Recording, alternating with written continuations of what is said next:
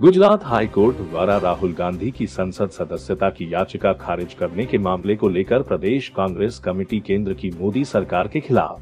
कांग्रेस भवन से अल्बर्ट एक्का चौक तक एकजुटता संकल्प मार्च निकाला।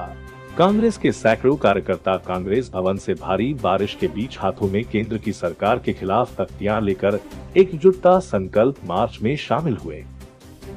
कौन कहता है कि दिया बुझ गया है? वो मसाल है मसाल। पूरे भारत के देश की आवाज़ है और बुलंद आवाज़ है।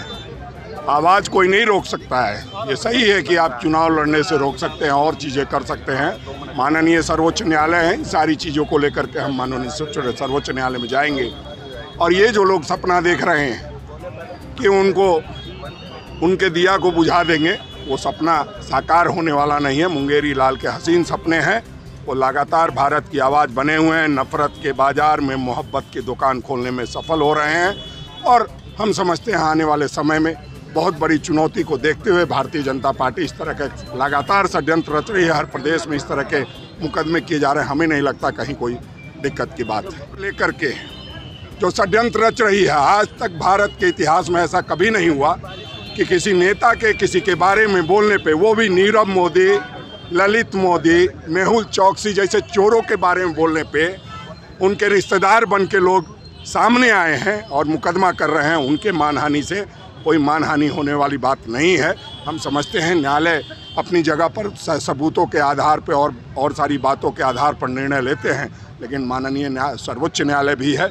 उनके पास हम लोग गुहार लगाएँगे, अपनी बात को कहेंगे। विपक्ष की पार्टियाँ, राहुल जी तो चेहरा है ही, लेकिन विपक्ष की पार्टियाँ ये तय कर रही हैं कि बीजेपी के खिलाफ लड़ेंगे। तो लड़ेंगे। जनता हमारे साथ हम जनता के पास जा रहे हैं 2024 के चुनाव में। जनता हमारे साथ देगी साथ देगी हम चेहरे से अंतर नहीं पड़ता है। है ना? जनता हमको साथ देगी तो हम आगे बढ़ेंगे। चेहरा कोई मायने नहीं रखेगा चुनाव में। पहले भी में है राहुल गांधी। नहीं नहीं। पहले हम कह रहे हैं कि स्टेट में इलेक्शन होता है चेहरा रखा जाता है क्या? इसके पहले भी होता था चुनाव। अब न चेहरा आने लगा है। पहले कहाँ होता था? चुन चुन के आते थे, संविधान में क्या व्यवस्था है? चुन के आते थे लोग। नेता चुनते थे, प्रधानमंत्री बनते थे, मुख्यमंत्री बन जाते थे। अपने राज्य से जुड़ी हर ताज़ा खबरों के लिए आप हमें सब्सक्राइब करें, साथ ही बेल आइकन बटन दबाना ना भूलें।